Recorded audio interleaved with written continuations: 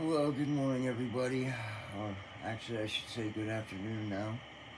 Um, I just wanted to um, bring the attention of the quantum diversion of universal particle flow and portal opening and Neuralink.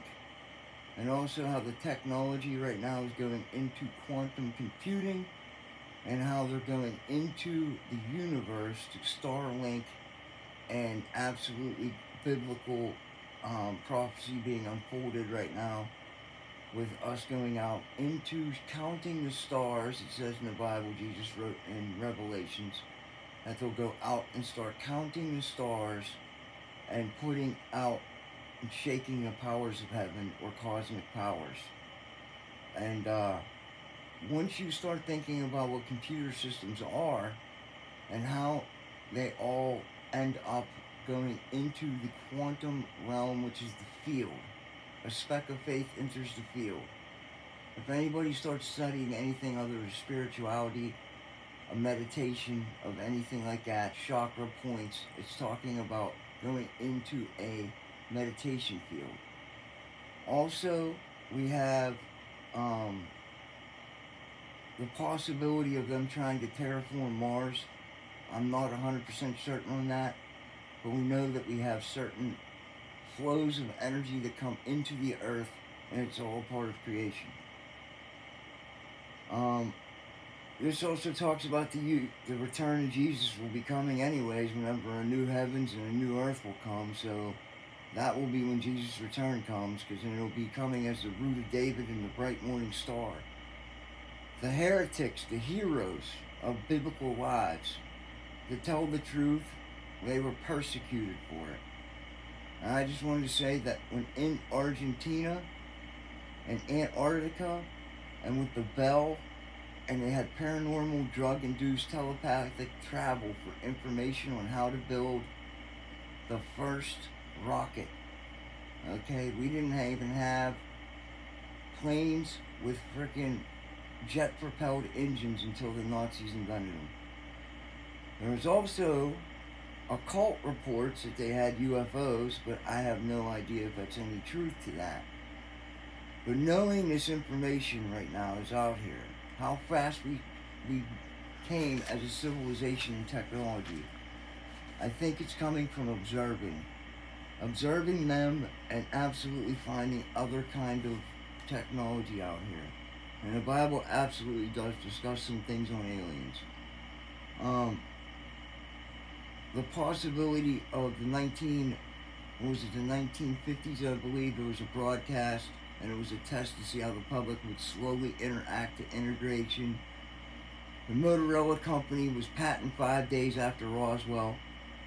Um, Argentina had block buildings built with all kinds of block buildings and we had a flood of cocaine coming out of that region like the likes we've never ever seen.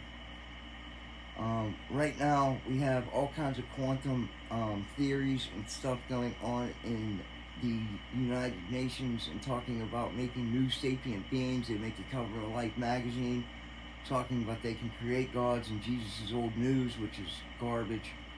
And I'm telling you that his return is coming soon because the Bible tells you so, so you better believe it.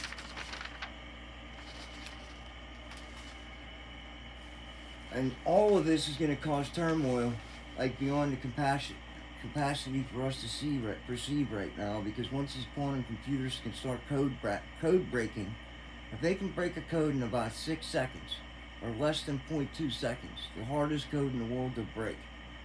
What do you think it can do when it gets into the world, the universe, which is God's supercomputer? They're trying to get into God's supercomputer because it's His. He created it, and it's spirit. The study of quantum physics, in my opinion, is a study of spirit, the soul, because at birth, when you're born, the first race you ever won, when you go into into hitting the egg, there's a burst of light and consciousness at that moment. It's both chemical and spiritual at the same time. Both chemical and spiritual at the same time. The particles in the quantum realm whenever it says in the Bible, I am in the light, which spirit is able to travel in and out and through that light. I literally just seen so many things, and I know spirit absolutely is in light and in life. But we also have the poisoning of the entire planet, of wayward drunkenness, the snare trap of addiction, and how bad everything is right now with that.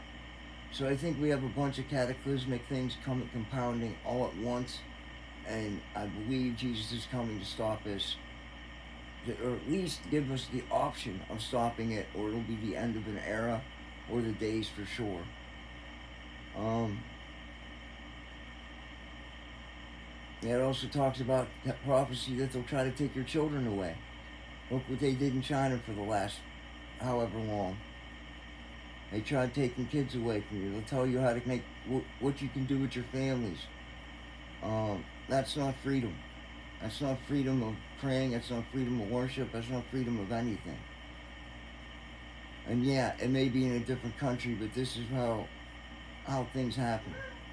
There's so many stories that took place over the years biblically, supernaturally, that you wouldn't even imagine. And I know that I've been through something of a quickening.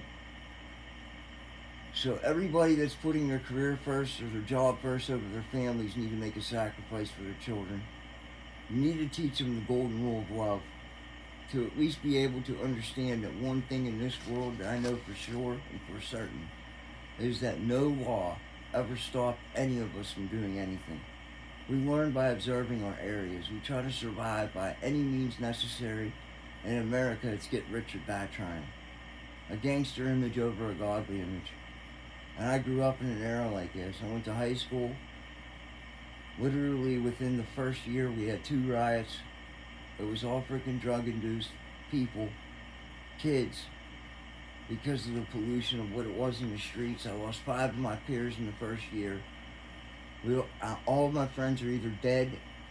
One of them still out there running ripping and running. I finally made it into recovery because jesus christ saved my life i'm sitting here with my feet up right now because i'm asking people to absolutely start gathering with me, hoping if I can get somewhere invited to come preach, tell my testimony. I would really appreciate it so I can get these two feet moving and walking and I don't have to walk alone in this world anymore, at least in the physical, because I know he who is in me is greater than all the world and everywhere I go, God is with me. So I hope everybody understands that. Um, I have a bunch of lessons, pretty cool lessons on how brain waves work and how brain waves actually in thought, in your hearts, in your minds, everything is known. And I know the Lord is with me. And I also have some pretty cool stuff in a picture Bible talking about the Spirit of the Lord that comes down and speaks to us, walks with us, prays with us, sends us dreams at night, and all kinds of stuff. But I'm telling you right now, he is not happy with the way things are going on in this world. Neither am I. So God bless everyone. Um, I'm available for prayer and I'm available for any advice. I would appreciate fellowship anywhere um, if I'm invited. And uh, I don't know about anybody else, but I think it would be really cool about in this day and age to have a washing of feet ceremony somewhere. So uh, let me know. God bless.